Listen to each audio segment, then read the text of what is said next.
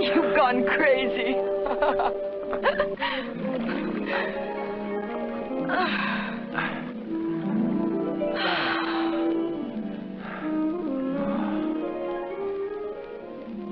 Did you tell the old man? no. A little while ago, I made a wish on a falling star, as they used to do many years ago. Now, the wish has come true. When we get away from here, we'll be living among normal people again.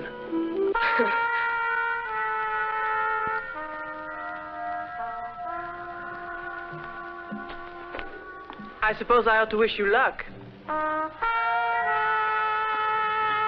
Oh, Mrs. Collins. Eve and I are going to get married as soon as we put this place behind us. That terrible dog. He always barks when the old man stays up at night. There is something strange in the air. Don't you feel it? Or is it that I'm just so sensitive? Are you on the dawn shift too? Yes, for the last time on this dull island. Go ahead and kiss each other. Don't mind me. The Black Widow. She never misses an opportunity to stick her nose in other people's business. Still, that's good advice she gave us.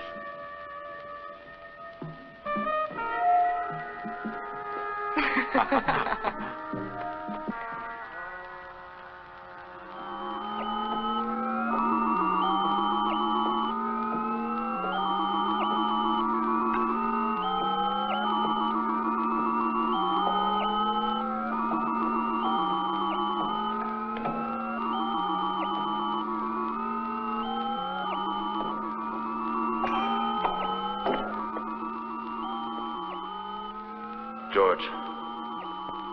those meteorites are messing up everything. What do you expect on an August night? Take a look yourself, George, before it gets too light.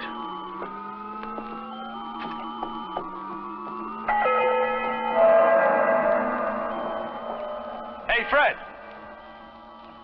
Did you see what I see? Yes, it's nothing. Holy smokes, Fred! Wait a minute! What do you think it means? I told you, those falling stars are muddling everything. I need some coffee. Skip the coffee, Fred. What can it be? I took some slides. We'll find out in an hour. An hour, my foot We'll go to the electronic telescope. Precisely. You learn that I'm the kind of man who takes his responsibilities seriously. Morning, Dr. Cornfield. Aye. Go on, tell him. Maybe we had better take a look through the electronic telescope first and check the reading in this area. The whole thing's pretty unlikely. We both saw it. Let me see. Come on. Can you tell me why Fish Face is so frantic? George? I'm afraid he's right.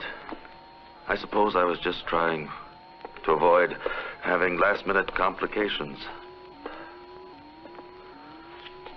You must help me, Mrs. Collins. Me? Some very strong coffee, please. I'll get some right away.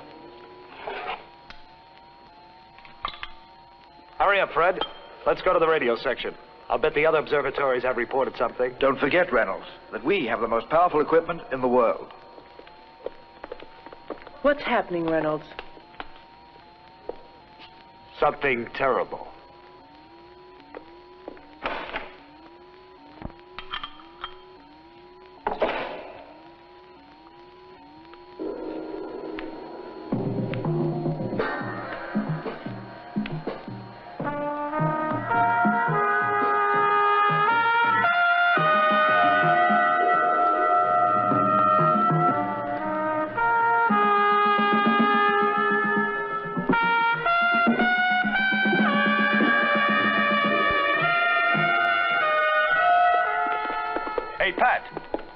Reported from the other observatories? Just routine. That's impossible. George, please. The teletypes receive over 1,000 words a minute, maybe somewhere among the messages that haven't been decoded yet. My dear colleague, unusual messages are signaled by a red light and are given transmission and decoding precedence. Damn it, old Pat, what's that? It's base three on Mars. For the last 97 hours, they've been trying to get through in vain. Base 3 on Mars. Bob Cole, my former instructor at military school, is in command there. What's the matter? Nothing important. There's a magnetic storm raging with a sodium formation. Is that what interests you? Ah, nuts. Take the sodium and make yourself a bicarbonate. Well, Nothing here. The old man must be told. you don't mean to insinuate that I saw You are the dean, Dr. Cornfield. Precisely. But he'd just start to snap at me, and then I'd... I'd lose my temper. We have no authority. It's up to you, Cornfield. Nothing of the kind. Calm yourselves, gentlemen. I'll tell him. If it turns out to be a flash in the pan, I'll be the lightning rod. This is my last day here, anyway. Precisely. After all, he was the first one to see it. Will someone please tell me what's going on? I've never been known to snap at anyone.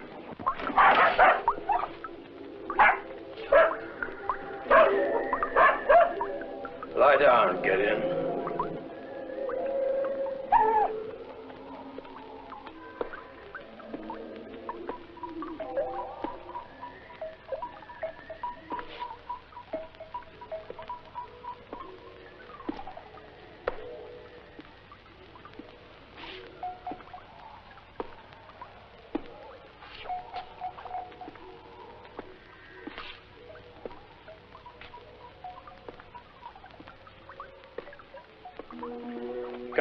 in. Come forward, Steele.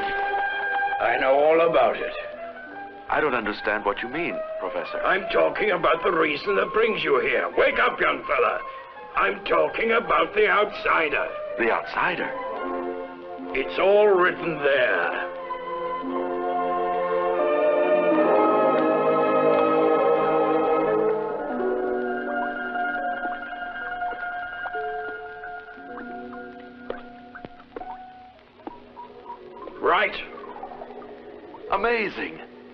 Did do it? young fellow, You and the others have to see and hear before you can know. I have one advantage over all of you calculus. However, I'm glad to see that you at least know how to read it.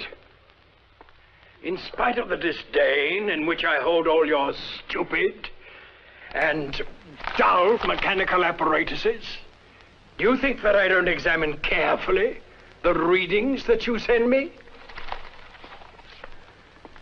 The difference is that you accept those readings as results, whereas for me, they are merely elements in a formula. I have been aware of this thing for the last five days, and I have been curiously awaiting to see when the rest of you would discover it. It was only just before dawn that we were able to. Oh, so you didn't see it until just before dawn. And didn't any one of you notice the change of position of the two outer planets? Change of position. Infinitesimal. It merely heralded the arrival of the outsider. Why do you call it the outsider? Because it comes from another galaxy. It simply entered the solar system during the night. None of the other observatories have reported it yet. They couldn't. They don't have powerful enough instruments. That's what Dr. Cornfield maintains. Ah, yes. How very interesting. I'm sorry to hear that I have an opinion that is shared by your Dr. Cornfield. What the devil are you staring at? Get away from me. I can take care of this. Anyway, it's all there. Diameter, dimension, speed, and course of the outsider. Now you keep your trap shut with the others and get out of here. Professor, a foreign body, a planet, the outsider as you call it, has entered the solar system and is heading right for us. Because of its size and particular characteristics, it won't burn up when it contacts the Earth's atmosphere. It could be a catastrophe. Now, that's a perfect summary of the situation. So, Maybe it would be prudent, Professor, to warn the others, the department, the high command. Steele, I've already told you to keep your trap shut and get out of here. With pleasure. In fact, I've also come here to say goodbye. Oh, if only I had a handkerchief, I'd burst into tears.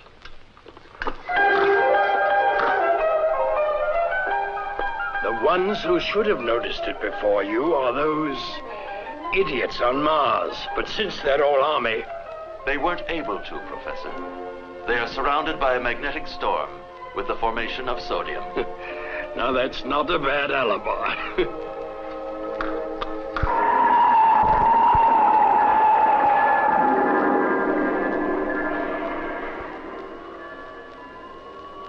High Command, this is Mars Base 3.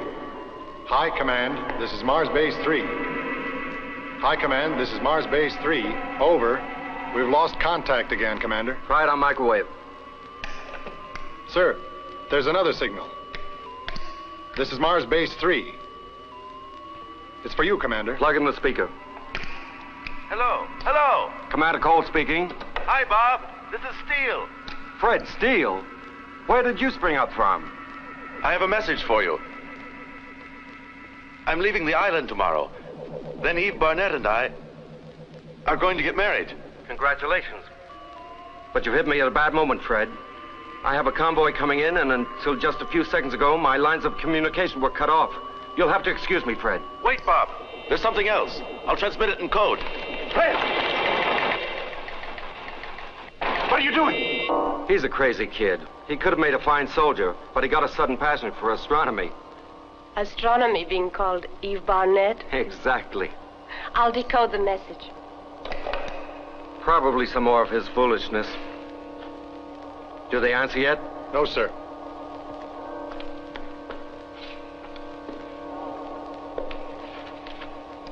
Oh, so now you think marriage is a lot of foolishness. Not ours, Kathy. What is it, Boyd? Commander, we've established contact with the convoy escort. They're off course, 12 degrees from the curve of fall. Of course.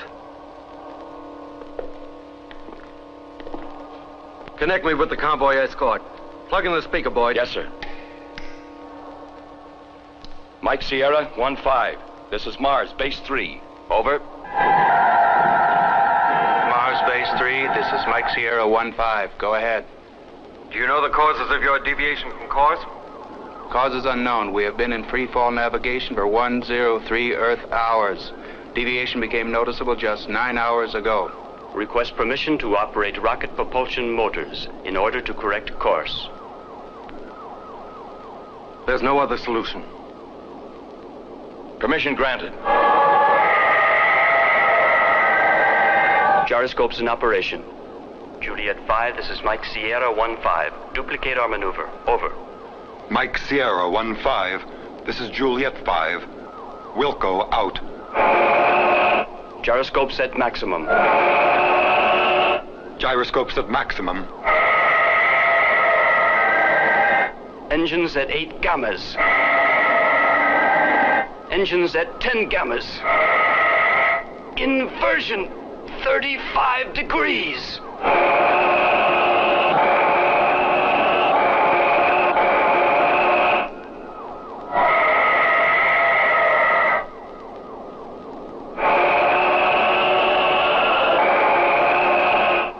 Will they be able to get back on course, Commander? I don't see why not, Boyd.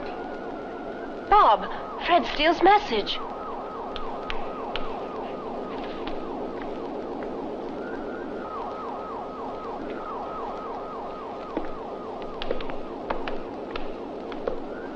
Open the protective dome of the parabolic antennas.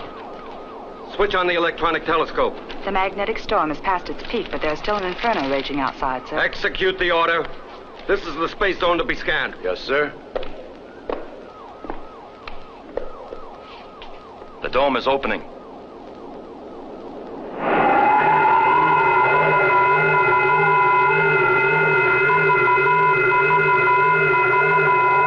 They're still off course. With a constant of two degrees increase. Mike Sierra 1-5, this is Mars Base 3. Juliet 5, copy. Increase rocket power to 12 gammas and correct inversion another 1-5 degrees. Wilco. Engines at 12 gammas. 15 degrees more inversion. Bob, look. The outer satellite Deimos is out of orbit. How far out? Six degrees with a peri-Martian displacement of 700 miles. Mike Sierra 1-5, this is Base 3. Julia 5, copy. Deimos is out of orbit. It may intersect your course. It's coming towards us.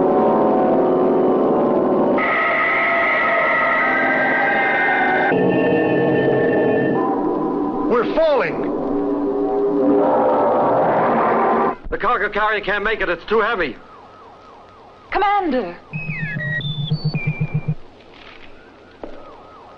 Order the cargo carrier pilots to launch themselves in space to be picked up. Hurry. Juliet 5, this is Base 3. Adopt emergency system. Fred was right. We must calculate mass, size, and speed in order to determine its field of attraction. Mike Sierra 1-5, this is Base 3. Increase rocket power. Attempt rescue Juliet 5 pilots. Wilco, engines at maximum. Juliet 5, this is Mike Sierra 1-5. Prepare to effect self-launching. Ready in spacesuits. Emergency system in operation.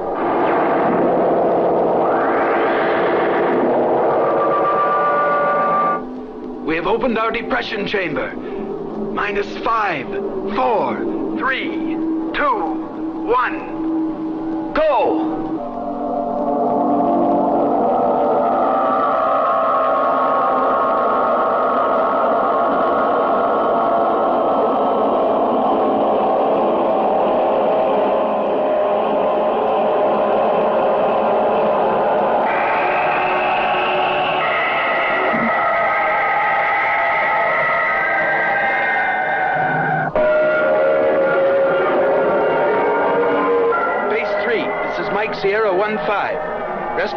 Rescue operation effected. Request maneuver instructions. Over. This is Base 3. Invert another 10 degrees relative to tangent of Deimos. Specify speed of course. Hold tight just a few seconds more. Countermand the order. But, Commander!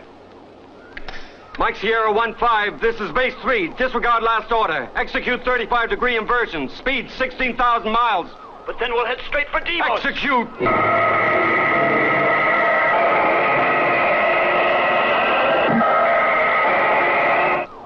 That's murder. You're sending them to certain death. That'll do, Boyd. I'm sorry, Commander. I know what I'm doing.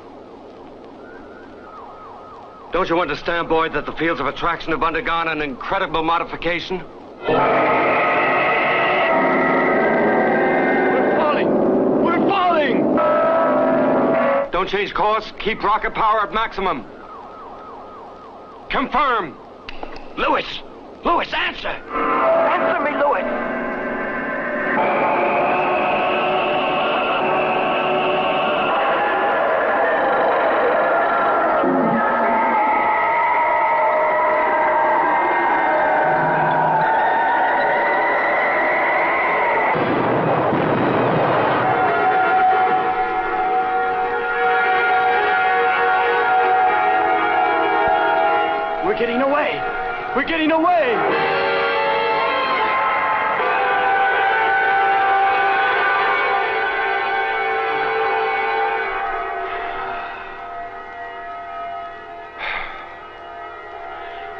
Never thought we'd make it, Lewis.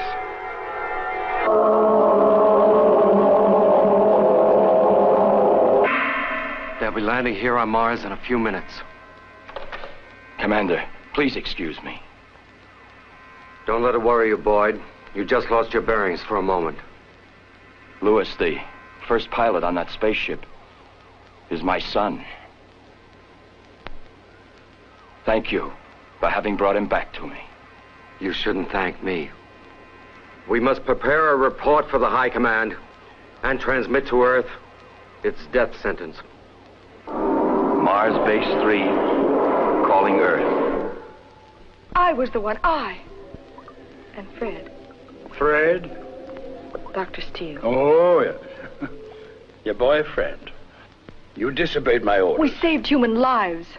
Are you going to get a medal? We won't. Maybe the base commander on Mars will. But we didn't do it to win a prize.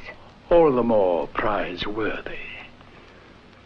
Aren't you aware, you silly girl, that by this peremptory gesture of yours, you've created a panic before I could Before? before I could complete my studies of the outsider? But, Professor. Oh, I know what you're going to say. Something about the salvation of human lives. You're a great disappointment to me, Miss Barnett. I've been here at your side for several years now, Professor.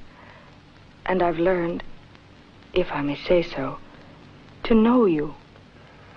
And I have lived with myself many more years than you, if I may say so. And I know myself better. Why are you so determined to appear pitiless? I have no time to lose in popularity contests, and you don't either. Your young man is waiting for you. Is that Commander Cole's report on the outsider's field of attraction? Yes.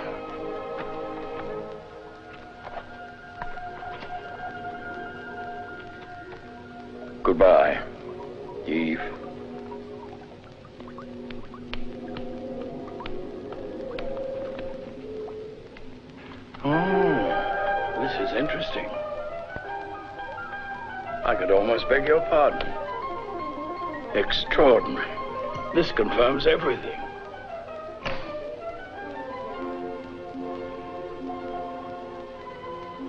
Eve. Eve.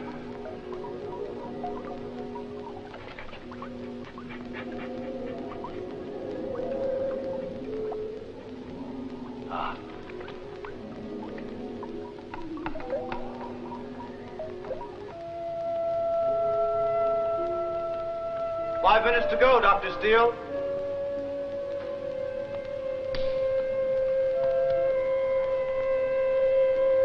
What's that for? I don't know. Fred, we can't.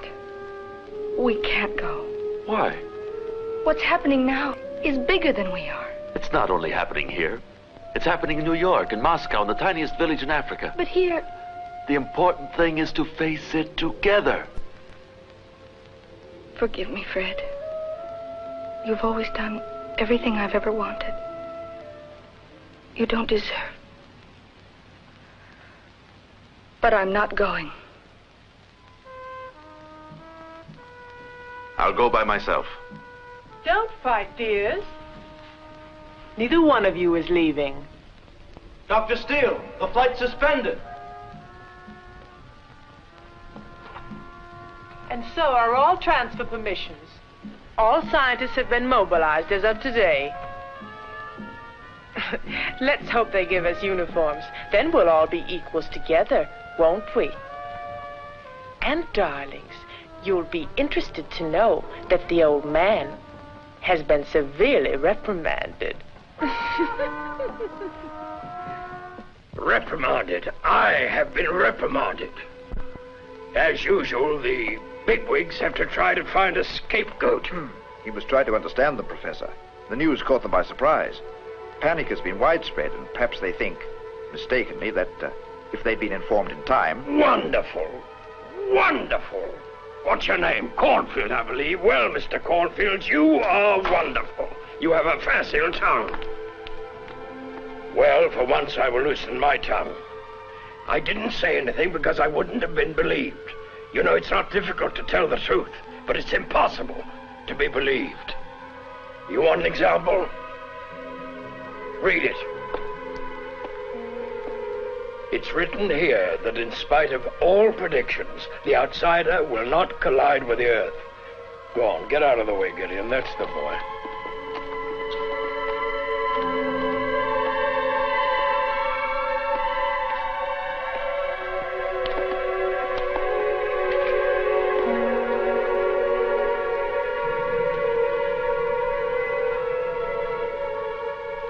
Professor Benson, in brief, you maintain that. I maintain nothing. I ascertain. I ascertain on the basis of mathematical elements which are irrefutable that the outsider will bypass the Earth at a distance of 95,000 miles without even dreaming of grazing the outside edge of our atmosphere. Greenwich, Mount Palomar, and the observatory in the Urals, hmm. as well as the bases on Mars and the Moon, have formulated other forecasts that are very different. Your esteemed colleague Newman and the great physicist Ratoff have expressed as their opinion. Mr. Cornfield, there's only one opinion that interests me my own.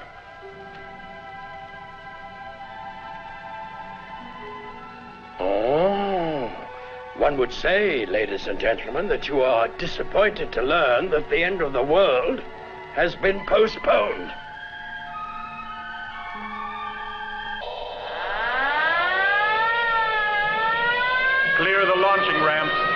Spaceship Alpha 2-3 in arrival.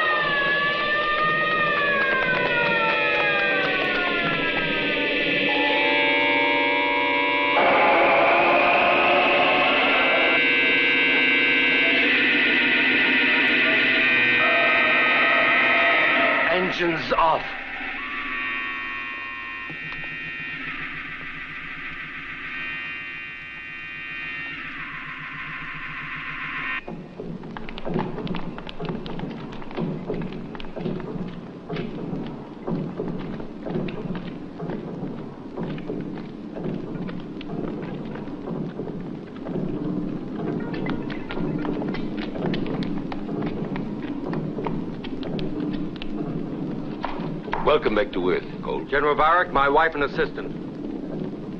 We haven't a moment to lose. We must go to the High Command immediately. I understand the fear psychosis is very grave. Everyone wants to run away. But where? It's impossible to predict on what part of the globe the outsider will fall. Gentlemen, We've heard about the wave of suicides and riots. to stem them, we've even gone so far as to announce our official approval of the theory of that charlatan Benson. What is Professor Benson's theory, General? The outsider will bypass the Earth at a distance of 95,000 miles on its course toward the sun. We know damn well it's not true. Of course. However, we have committed ourselves to destroy the outsider beyond the limits of the Earth's atmosphere. I've worked out a detailed development of the automatic plan of strategy which you transmitted to me. Good. We will compare your conclusions with ours.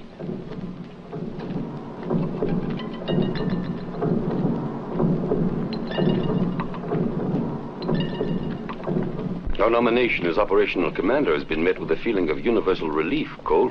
But my name's unknown to the public, General. Don't forget that you were the first to discover the outsider.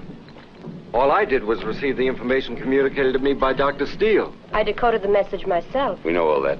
However, the people have faith in you. It's not to our interest to disillusion them. General. Today we are facing an adversary just as much to be feared as the outsider. Public opinion. But the truth is... We cannot afford to split hairs. From now on, we can only rely on one thing.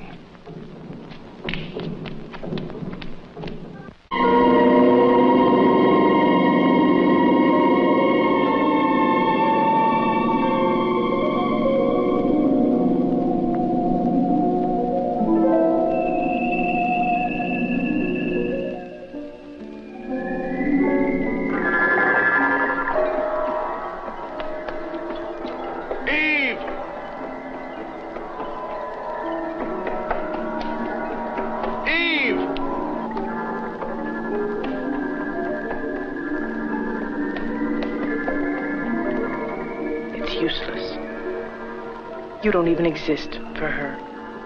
Professor! Hmm? Professor! Professor Benson, it stopped just as you predicted. The outsider has started to orbit around the Earth. What did you say?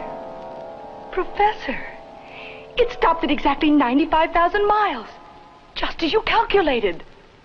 And it's gone into orbit. Congratulations. Professor Benson, my congratulations. Stand back, you madmen. Give me your reports.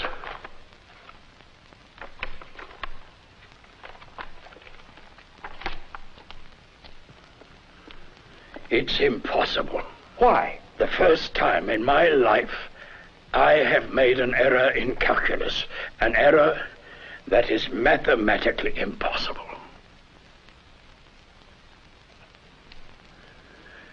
The outsider should not have gone into orbit. Benson, is your little error in calculus the only thing you can think of? Dr. Steele, I have never held you in very high esteem, but I must admit that this time, without knowing it, you have put me on the right track. You're right.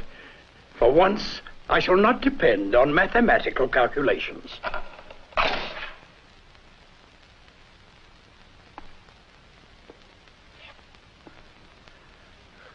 Cornfield, you know much better than I how to operate these stupid visual screens that permit us to talk to the bigwigs in politics and the military forces. I have no intention of speaking to them, but you will. You will inform them, in my name if you like, that the outsider must be destroyed. And immediately. Can't you get any closer with the telescopic lens, Boyd? This is the maximum.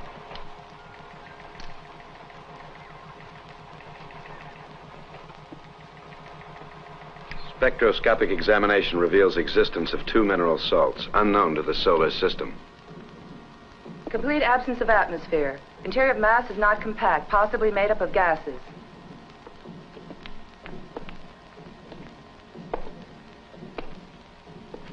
External radioactivity soundings register an increasingly high percentage. We could make more detailed findings in a reconnaissance flight to the outsider. Benson's against it. Benson? They all hang on his word these days. He just keeps repeating, destroy it immediately. With the radioactivity I just registered, I'd go slow. If atomic missiles are used, the explosion could cause some pretty serious chain reactions. I think so, too. We must have more data to work on, no matter what the cost.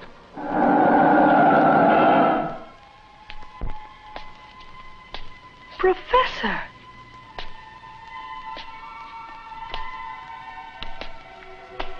I've never seen you before outside your den, as they call it. My dear. Aren't you feeling well, Professor? Uh, Here are the latest readings.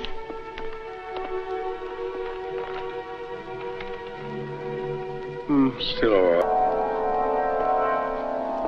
Professor, we are honored. That's it, precisely. We are honored. Do you mind if I sit down? I've walked long enough.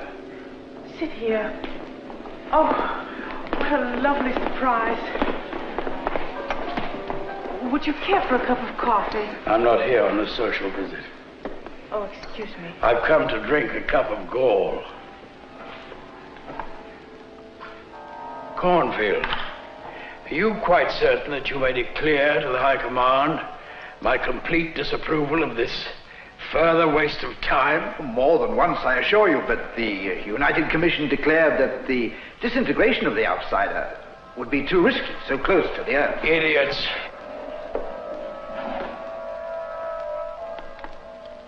Is that where you look? Precisely, Professor. We've just established contact.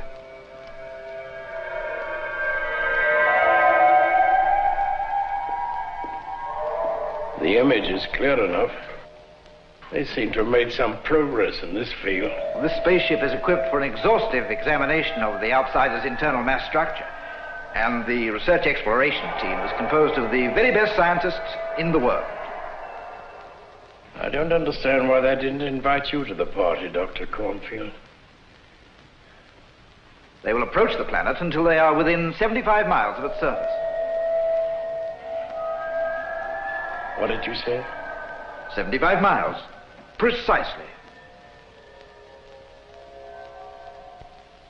A match. Somebody please give me a match.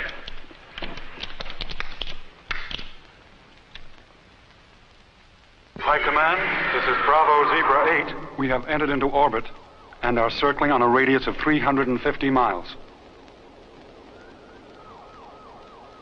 Proceeding with electronic soundings. Over. Execute reduction of orbit and spiral course, over.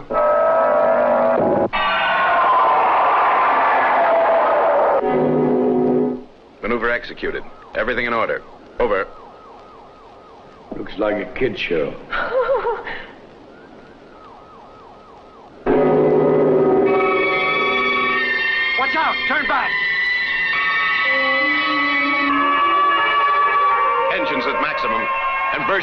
45 degrees.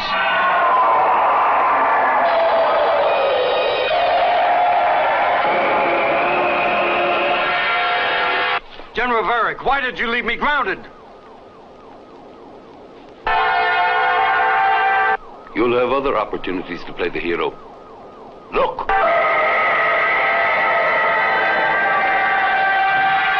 They're overtaking us.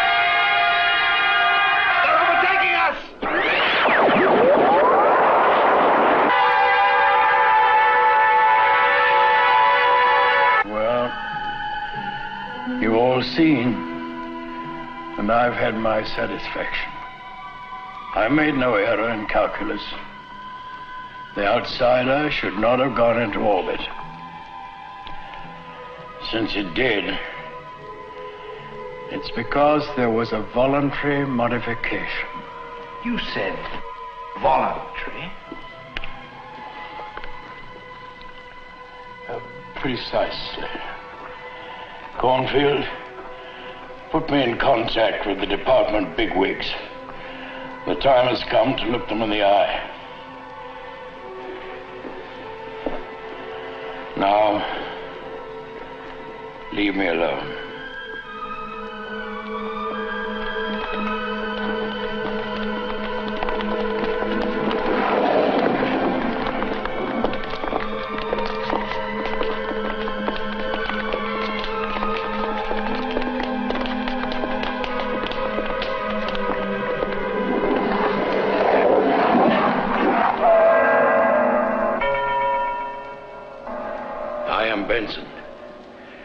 Speak to you. It's about time I did. No one has ever prevented you. I want to be listened to then. It depends on what you say. It's very serious. Your days are numbered. Just a moment. I prefer that you speak before the United Commission.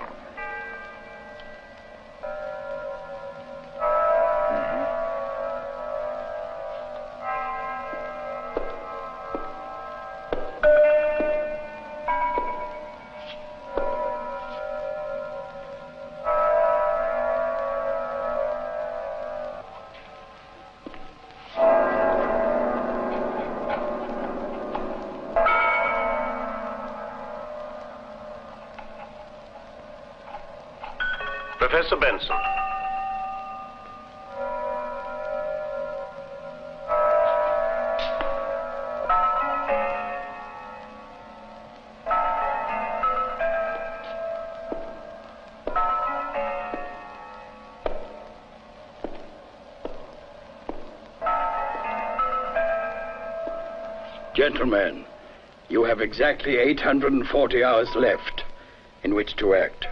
In the meantime, the outsider will be tightening its orbit around the Earth. It will descend to a distance of 45,000 miles from the Earth's surface, and then. What proofs do you have? You'll find them written there. I take it for granted you know how to read. The formulas have just been photographed. We will examine your hypothesis most attentively. This is no hypothesis.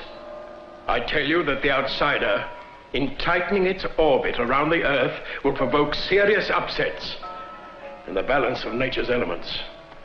Changes of climate and orography in vast zones of the globe. You're concerned about the fate of the human race. You're wrong, my dear sir. I am not moved by humanitarian motives. Well then, Professor Benson? I want to know the truth. What truth? That's hidden inside the nucleus of the outsider. I'll make you a deal. Benson, you explain yourself back. Find yourself to the heart of the matter. Please tell us, Professor Benson. I have already determined the deep within the outsider there are conscious beings who come from another galaxy. Fugitives, perhaps, from a dying world.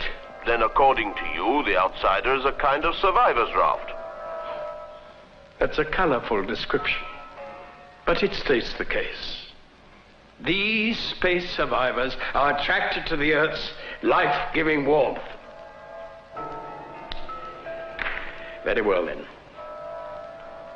I present you with the possibility of saving the human race. That is, to put it bluntly, I will save your lives for you. Yours. And yours. And yours. On one condition. That you give me the necessary means for studying and uncovering the outsider's secret. What means, Professor Benson? I ask to have the absolute command of all operations invested in my hands.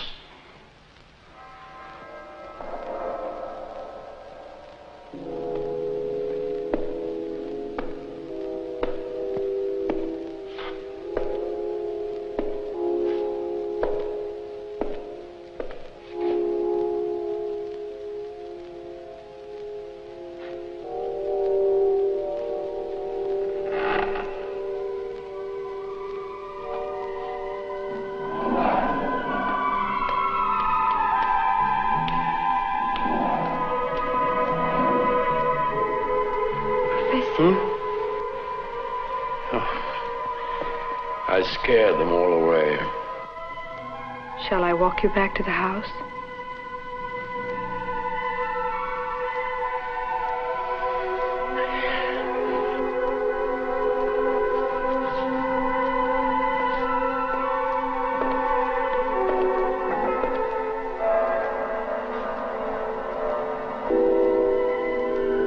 In the name of the United Commission, I am instructed to communicate to you our most profound admiration and gratitude, Professor Benson. The Executive Office has proposed you for the highest academic award. I thank you from the bottom of my heart. As for your request, the United Commission finds it necessary to turn it down. That doesn't surprise me. Under the circumstances, the initiative passes to the military forces. This is war. And I'm not of draft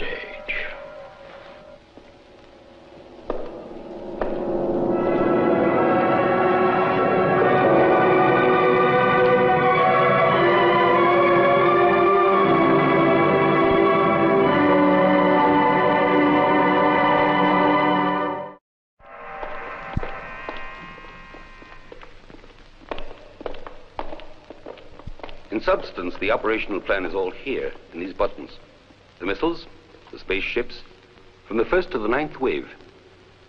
There are three regular strategic alternatives and one for emergency. This automatic plan has been conceived by our military engineers, guided by Commander Robert Cole, who will take personal part in the operation. That's a good enough guarantee for anyone. We're depending on you, Mr. Barrington, as chief of the Psychological Bureau, to unleash every propaganda means at your disposal to tranquilize public opinion. You can count on it, General. I believe I have all the elements necessary. Gentlemen,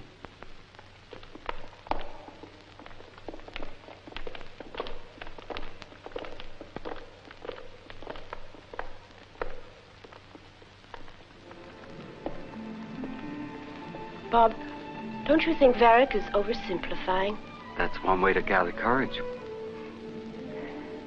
When I think of how we got married, based on a psychotechnical examination which determined the affinity between our individual characteristics. What's this all about, Kathy? Now I bless that psychotechnical exam. I love you, Bob.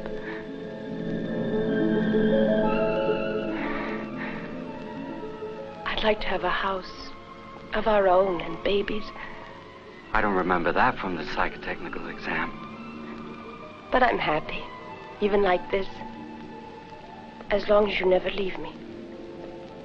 Take me with you, Bob. Up there?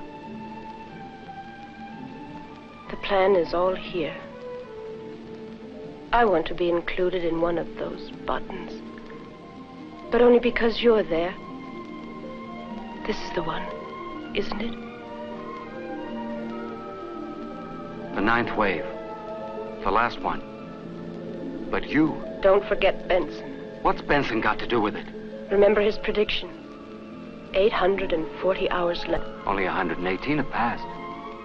Even admitting that it's right.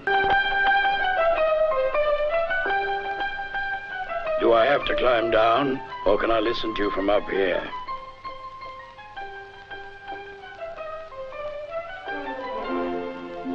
I know the plan of attack. First, the telecontrolled missiles will be launched as a diversion tactic. The discs will enter into their usual formations, provoking what the military experts refer to as the moment of neutralization. Only then will the spaceships attack the discs and destroy them. That technique's as old as the hills. Supposed to be clever tactics. Hmm? Why are you telling me all this stupid nonsense? The squadron commander is Bob Cole, who was the instructor of my class at school. Ha! Fine class that must have been, judging by the results. He has asked me to take part in the expedition. Young fella, this is a dangerous mission, or as they say in such cases, a hopeless one. I know, but I need your permission. I'm still part of the scientific complement here. I don't like the smell of this story. Why? Because it's inspired by non-scientific motives. Explain yourself, Professor. What the devil do you think I'm doing? Eve, I want to present you a hero. He wants to go to war. All because of you. Because of me? Miss Barnett and I no longer have anything in common. It was all a big mistake. Fred! I've been made aware that Miss Barnett is completely indifferent, as far as I am concerned. And fortunately, I've discovered that I have the same feeling of indifference regarding her. What? What a dull, silly little performance this is. Right out of a 19th century melodrama. Professor, if Eve still interested me one little bit, I wouldn't be going out of my way to look for trouble, as you seem to be intimating. Nonsense. Human feelings are inconsistent. In fact, they're the only inconsistent elements in all nature. Be quiet, Gideon. I didn't ask for your opinion. All right, Steele. You can go with your old college chum and have yourselves a nice class reunion. I've just had an idea. Naturally, it's a great one.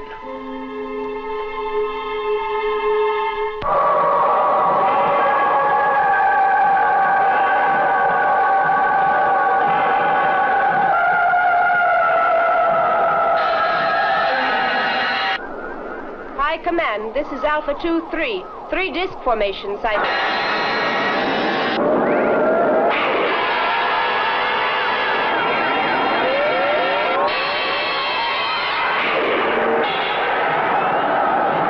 That's enough. Cut off the telecommand. Are you crazy? Cut off the telecommand, I say. We must maneuver freely. That would be an act of insubordination. Two discs are heading towards us. Gamble your career, you idiot, if you don't want to gamble your life.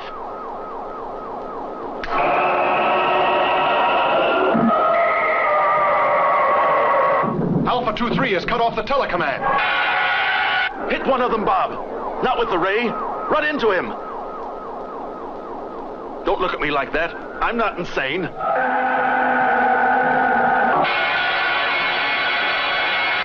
He can't see you. And if you don't use the radio, he won't hear you. Go to it, Bob. Do as I tell you. It's Fred Steele's spaceship, Professor. Wait a few seconds, my girl, before you put me on the rack. You must pass as close to him as possible, almost grazing him. Hurry! It's falling. It's falling towards the earth. The other discs are retreating. They'll burn up when they hit the atmosphere. At least Cole and his men will end up in glory. Damn it, Bob. You've got to regain control. Maybe. This is my party, Fred. Close your big mouth.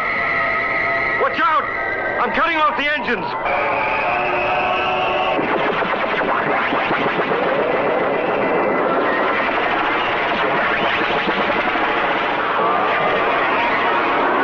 Gyroscopes at maximum.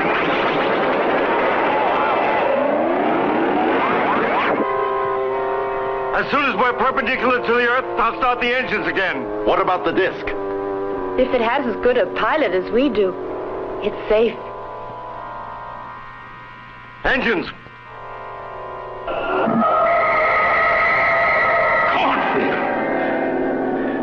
Contact the High Command immediately. Tell them in my name to call back all surviving spaceships. The fallen disk must be recovered at all costs. As for you, my girl, you get hold of that sometime suitor of yours, if he's still alive. I want his report on the fallen disk.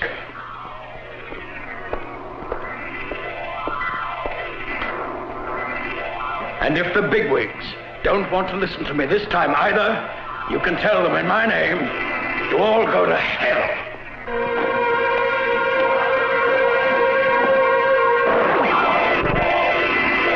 It's slowing down. The disc is slowing down. But it can't free itself from the force of gravity. It's planing. It's planing. So is Cole. Soon. Very soon now, we'll be looking the outsider's inhabitants in the face.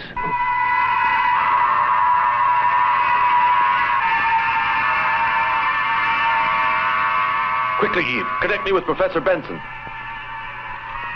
Right away, Fred. We forced an entry, sir.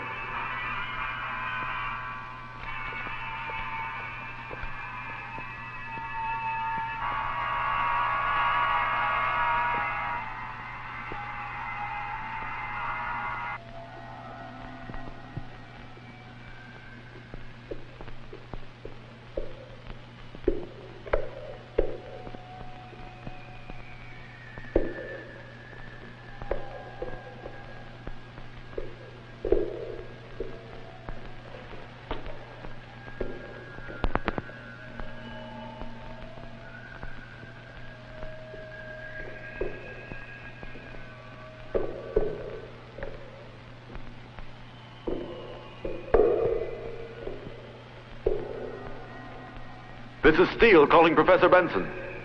Speak up, young fella. Professor, we've entered the disk. We've searched everywhere. There's no one here. Who'd you expect to see? Your grandmother? Look harder. Everything is connected to a cylinder. It's transparent. Seems to be made of quartz with changing colors.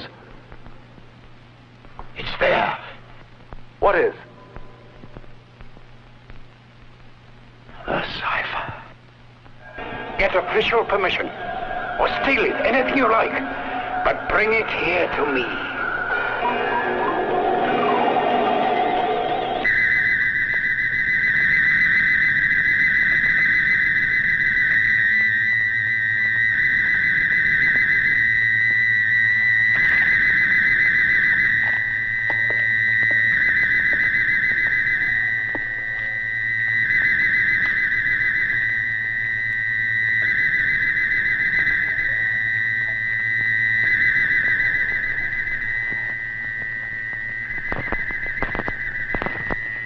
That's not it, Cornfield.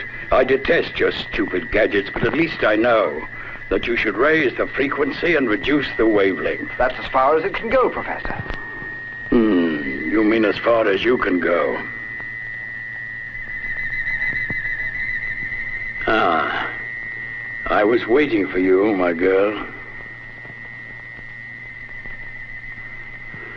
Atmospheric radioactivity rising. The outsider is closing in.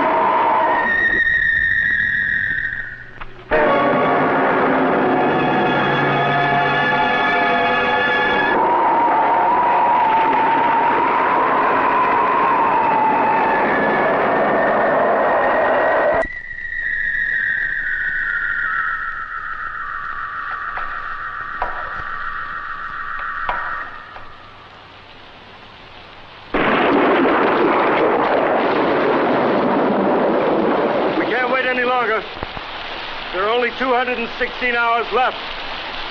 Benson must be reminded of his own prophecy. The key to the cipher may be discovered any moment now, or maybe never. It's a terrible, drawn out agony for the whole world. The abrupt end that everyone expected would have been better.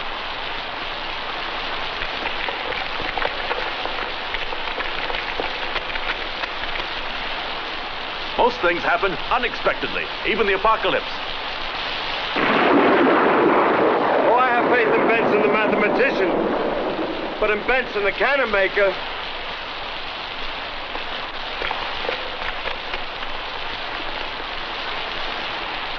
Don't be disturbed by the welcome you get. The old man hates polite chatter and has no sense of hospitality.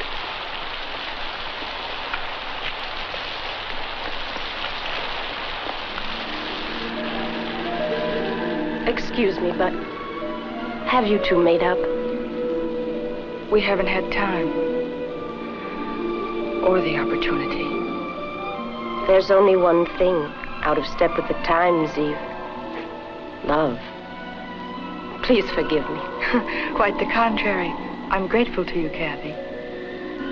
I'm afraid, Eve. Not of suffering myself, but I'm afraid for him, my husband. Coming?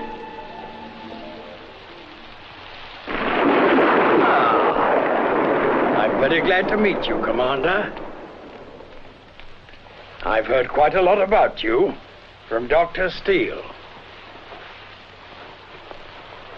Your wife? Yes. Delighted. Any kids? No. But we will have someday. Good for you. Take a chair.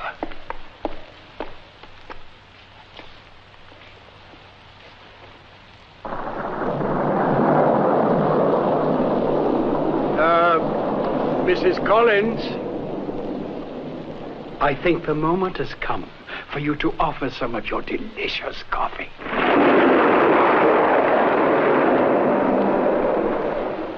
Uh, Mrs. Collins is so good.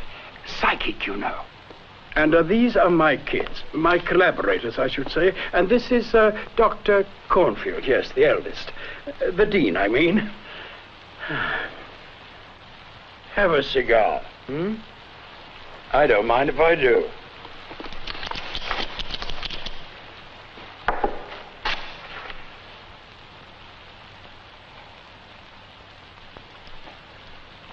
Ah, Gibson.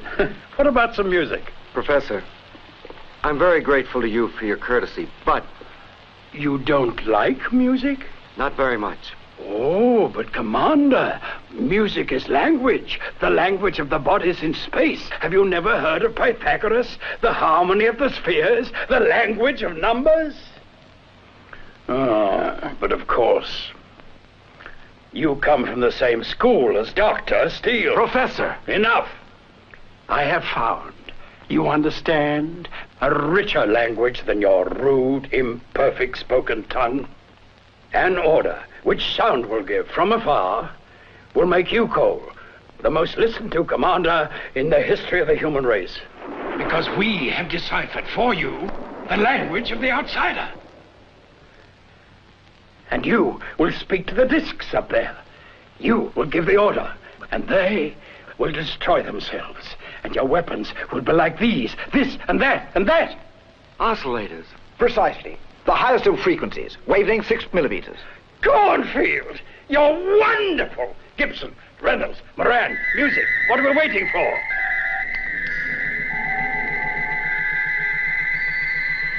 Listen.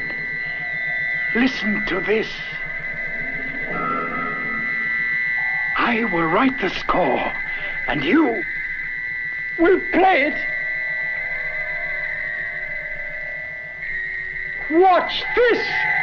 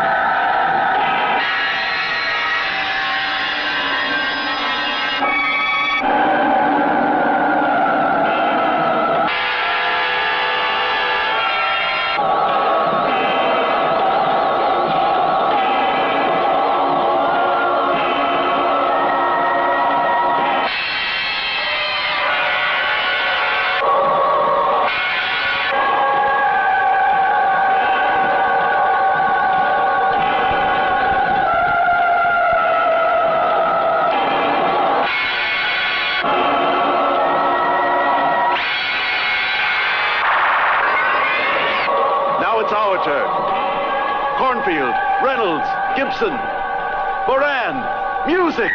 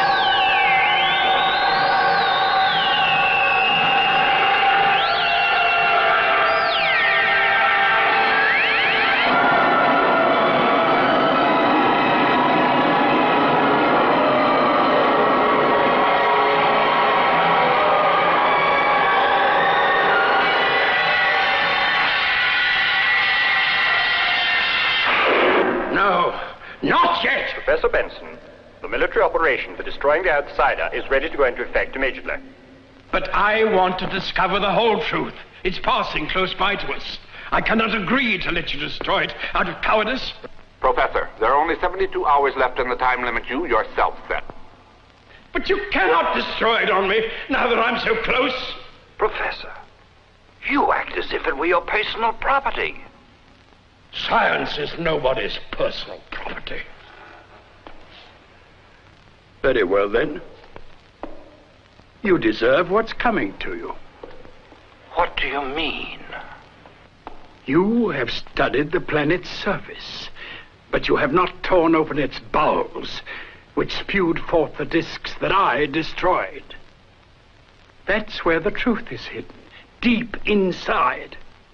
You will destroy an unopened tin can, and that tin can will blow up in your hands.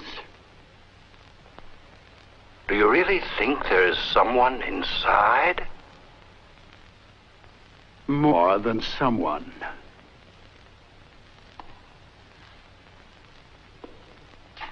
Gentlemen, I will give you a guarantee. For the first time, the first time in my scientific life, I will come out of my den, prepared to pay with my person.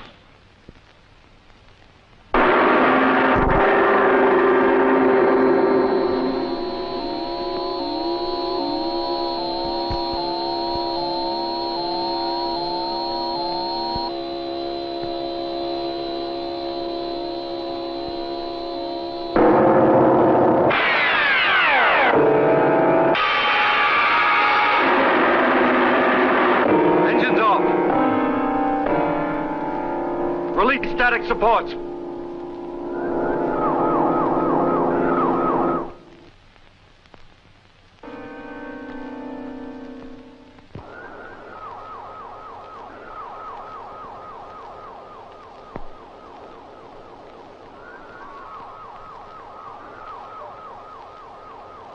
Professor, Professor, how do you feel?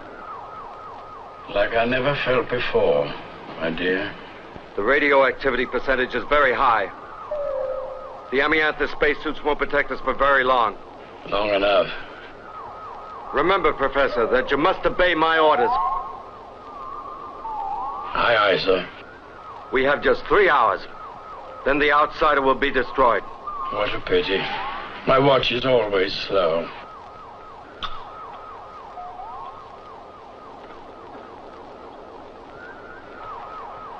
You should wear both of them.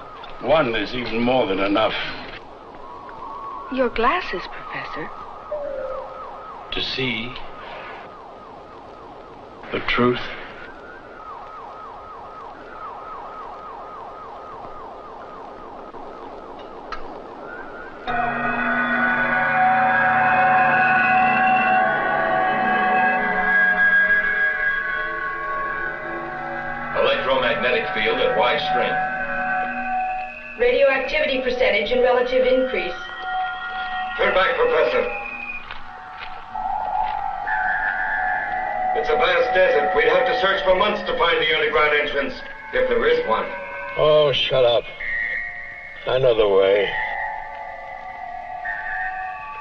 Exaggerating your merits, Professor. The signal. I'm being guided by the signal. Follow me.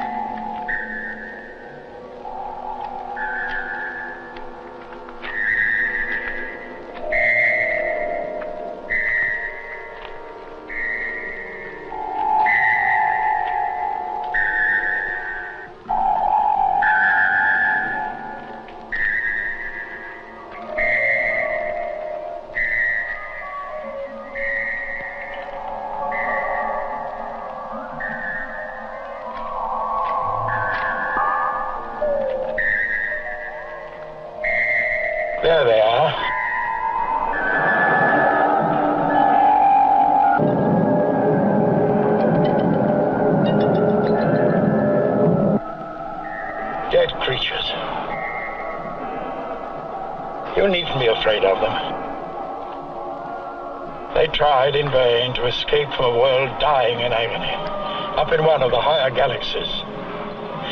They have been traveling for millions of light years. This planet that was intended as their Noah's Ark has become their tomb. What killed them? Time. Perhaps they hoped that their future generations would land on a living world, if only a blind one like ours. Perhaps the secret of their death is locked inside here.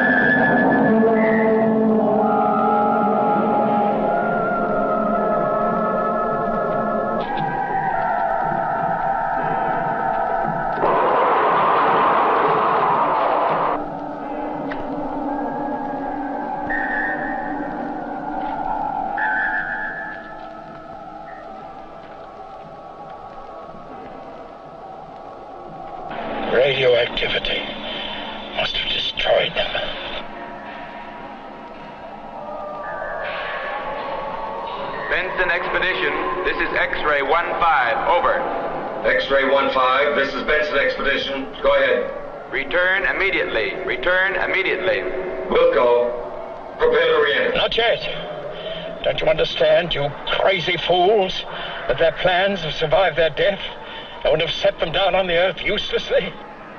Those plans are condensed in something here which we must find. Then we shall be able to penetrate the secret of their immortal formulas. Instruction plan ready for activation. No! Professor, turn back, I beg you. Orders from High Command. Return immediately. Eve! Eve! Boy, I'll join you later. I can't leave them here. That's an order. Get back to the ship. Kathy! Professor Benson! Professor!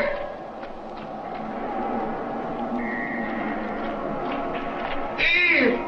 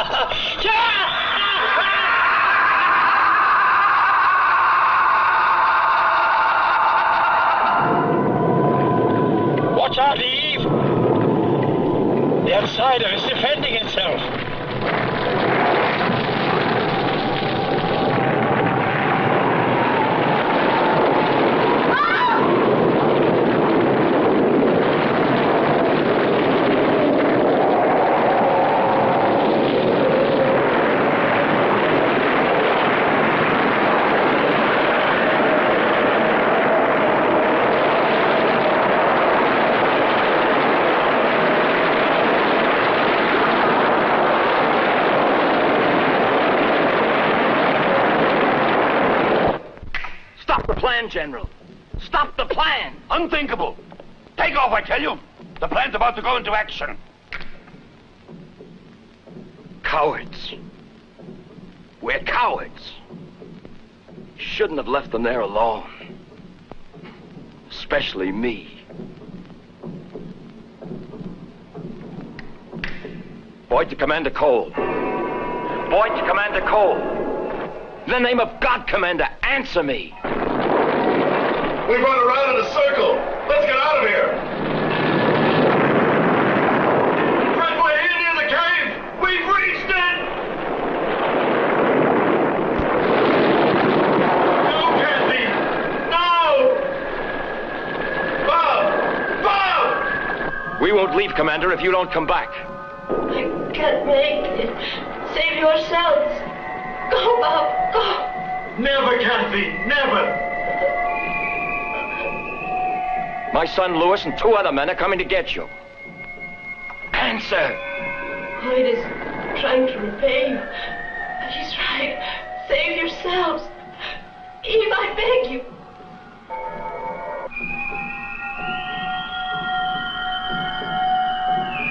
Within 50 seconds, the plan will go into action. I cannot stop it. You're committing suicide.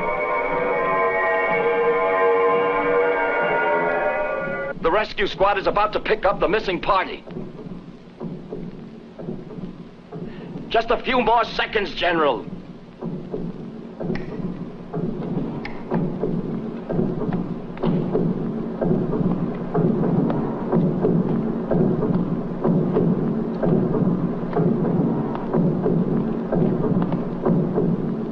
Launch missiles with special warheads. That's an order. Minus 10, 9, 8, 7, 6, 5, 4, 3, 2, 1. Contact.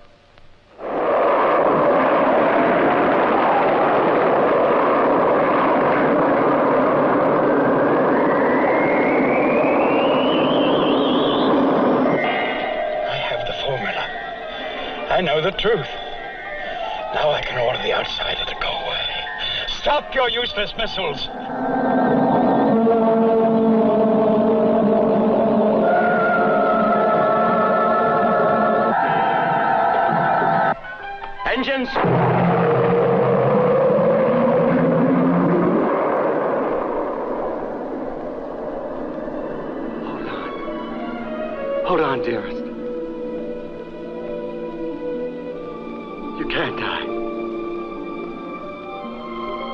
Can't die.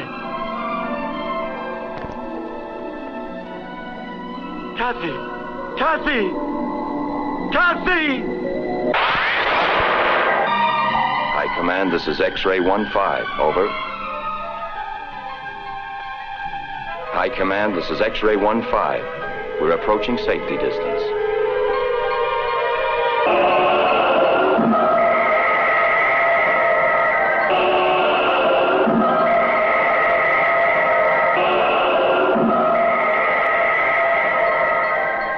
Goodbye,